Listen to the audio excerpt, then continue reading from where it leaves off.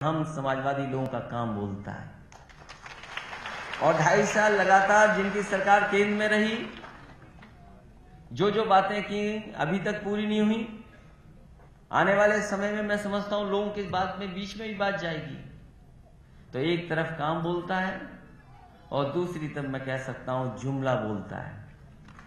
तो आने वाले समय में आपको तय करना पड़ेगा कि काम बोलने वाले लोग लाभ पाएँ या जुमला दिखाने वाले लोग फिर उत्तर प्रदेश में कहीं दिखाई दे हालाँकि जनता ने बहुत उन्हें बड़े पैमाने पर मतदान किया और इस उम्मीद, इस भरोसे के साथ किया कि शायद अच्छे दिन आ जाएँगे। हम तो दो साल से ज़्यादा समय से देख रहे हैं उनकी सरकार।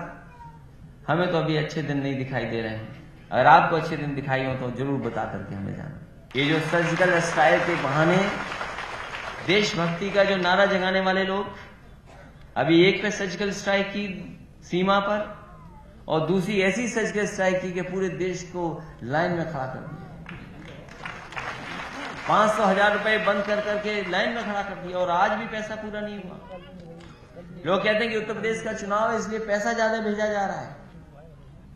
हम जानना चाहते हैं कि पैसा हमारी बैंकों में कितना पहुँच गया। उत्तर प्रदेश बड़ा प्रदेश है। इसे अखबारों में तो दिखाई दे रहे हैं डब्बे। अगर 2000 के नोट आए उतने बड़े डब्बे में तो हो सकता ज़्यादा आए हो। लेकिन अगर सौ सौ रुपए के अगर वो डब्बे में पैसे आए तो कुछ भी नहीं आया उत्तर प्रदेश के लिए। अर्थव्यवस्था को कितना पीछा कर दिया। और फिर, एक तो ऐसी पार्टी है, जिसने पूरे पैसे के स्मारक बना दिए, हाथी भी लगा दिए। कम से कम हमारी साइकिल चलती तो है।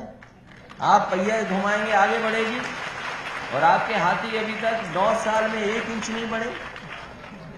अगर एक इंच कहीं बढ़ा हो तो बता दो। लखनऊ में देखते जाना। नौ साल पहले जहाँ हाथी लगे थे आज भी वहीं के वहीं खड़े हैं। वो अच्छे दिन वाली पार्टी?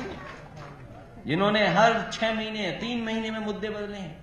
पता नहीं चुनाव से पहले कौन सा मुद्दा लेकर के आ जाए। सबसे ज़्यादा सीमा पे जवान अगर मरे हैं तो पिछले दो साल में मरे हैं जाने देंगे।